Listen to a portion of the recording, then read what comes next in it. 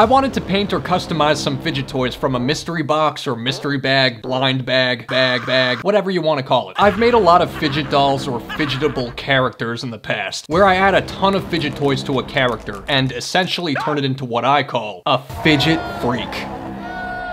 I just added the mystery box aspect this time around. That way, hopefully, it's a little more of a challenge. I've seen NerdECrafter unbox a ton of really cool mystery box fidget toys, TikTok viral TikTok hacks.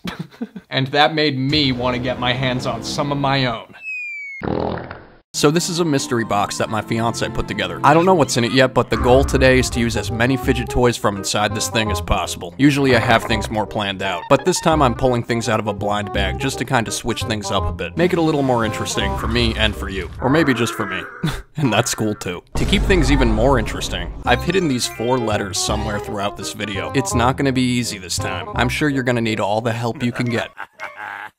Help me! Let's see what I've got.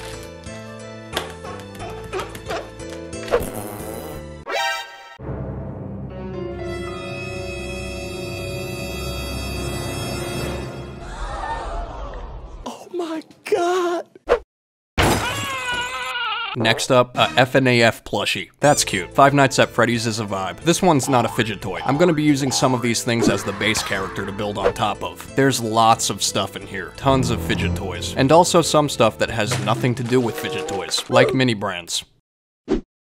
Anyways, I'm not gonna take everything out. That would take forever, and I'm not sure how entertaining that would be. So I'm just quickly showing everything here. Some of these fidgets we already had laying around. That's cheating, but I'll allow it. The first fidget freak is going to be this giant pig squishy. Squishies themselves already count as fidget toys, so really I don't even have to do anything to this one. It's technically already a fidget freak, but I'll add my own vision onto it.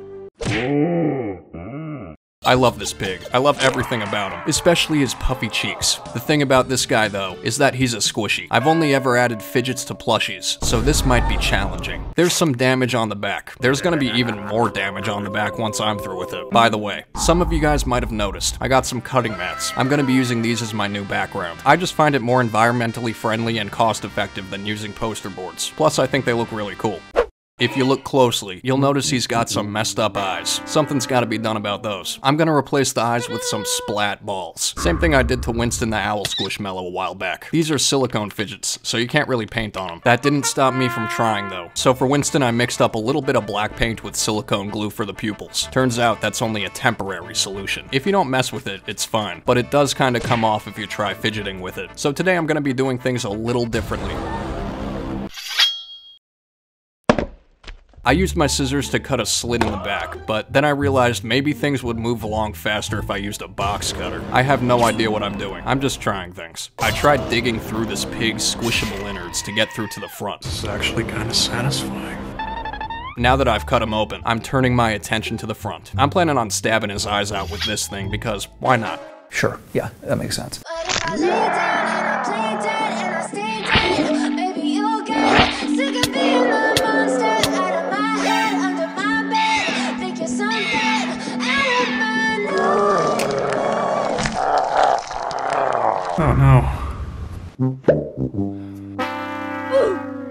I'll have to patch that up later. But first I'm gonna try to stuff these splat balls in through his fat head. This is obviously a lot harder to do on a squishy, but I'm trying. It's actually coming along nicely. Gorgeous. Come on, Piggy.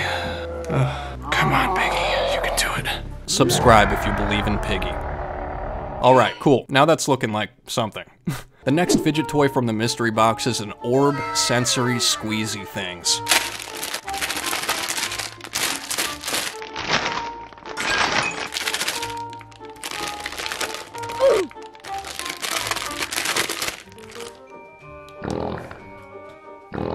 It's nice, very pretty, almost enchanting in a way. Too bad I'm gonna stuff it up his butt. I thought it might be funny to have it like pooping it out. To make things fit, I'm gonna have to scrape out a bunch more squishy guts, which is a sacrifice I'm willing to make. I've basically hollowed out the entire insides of Mr. Piggy at this point, all in the name of art. I tried stuffing that through. It was supposed to look a lot like the eyeballs, but Piggy had different ideas.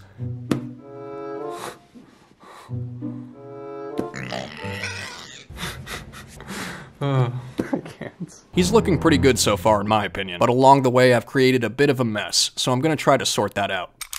I'm using some fabric hot glue to stitch up the back, make it look a little more presentable. I use the regular fabric glue to hold my squishies together when I used to do a lot of squishy makeovers back in the day. Normal fabric glue just takes so long to dry and honestly it doesn't even work half the time. It's not worth the trouble. So lately I've been using fabric hot glue, and let me tell you, it's a game changer. Much, much better. The next fidget toy from the blind bag is a Rocky Reliever. It's called Rocks. This is my absolute favorite fidget toy of the day. It's very crunchy, the most satisfying.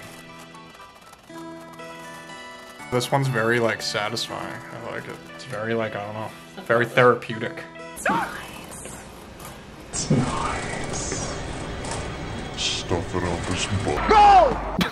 I'm gonna have this inside of a hat for the piggy. I love pigs. I have a lot of pig characters. There's just something so derpy and charming about them as a species. There's the butcher pig, piglets that are eaten by the butcher pig, the butcher pig's assistant, and the assistant's girlfriend, Lil Miss Piggy. I think that's all of them, unless I missed one. I don't know. I wouldn't be surprised. He's now got a fancy top hat to pull his look together. I don't really have a name or an occupation for this pig in mind. He's a little too fancy to be a butcher pig. He's not like the other pigs, but he almost looks like a rich banker with some secrets he's been hiding. Oh my god. Are probably best left hidden. You saw nothing. not sure if you guys know this or not, but I have new merch for a very, very limited time. If you blink, you'll miss it. It's not super Christmassy or anything. I always try to go for merch that hopefully you can wear all year round. I did bring back the Another Day, Another Meltdown design from last year since you guys loved that so much. There's also the Wreck You Worm. Super cute and super dangerous. And last but not least, Valerie, Trevor's crush. She walks through life with a blah kind of expression, like life's a party and she's over it. I'm gonna link the merch down below. If you want it, make sure you get it while you still can. Anyways, he's got a little piglet minion. She's already a fidget toy. Plus, there's not a lot I could add to her, so I'm not gonna be doing anything super crazy. I'm just gonna be making her more my style. She's looking a little too innocent and adorable for my taste. I'm using a lot of fabric paint to add to her, give her more personality. And apparently the personality I chose for her is being a simpleton. Moving on. The next thing from the mystery box is this Funko Five Nights at Freddy's plushie. First things first, I'm getting rid of the tag. I then stabbed it in the back. That's usually how I stuff fidget toys into there. Messy, yet effective. I just feel like it's okay if the back doesn't look as perfect. It's a lot easier on stuffing a plushie than it is a squishy. Honestly, I kinda just like plushies better than squishies. It's a personal preference. The first fidget aspect I'm adding are these glow-in-the-dark gummies. I'm not gonna be using them as eyes or poop this time around. I basically cut some slits into the sides of the cheeks and then I stuffed the gummies in. Much easier to do on a plushie. I love the way the cheeks pop out. It's a very fun fidget doll, and I like how it's not obvious that I added anything to it. But that's not all. I've still got some more fidget aspects I'd like to add to this FNAF plushie. I'm chopping off the ears. I've got plans for these. I'm also making some slits where the ears used to be. None of my scissors are working as well as they used to. I feel like I need to sharpen them somehow or something. Not sure. These are actually my fiance's flamingo scissors. I lost my rainbow unicorn scissors, so I'm using these for today. I miss my unicorn scissors. You guys might remember these twisty tubes, or at least that's what the packaging called them. Some of you guys mentioned they're actually called pop tubes. Sorry about that. When I say the name of a fidget toy, I'm literally just reading the packaging.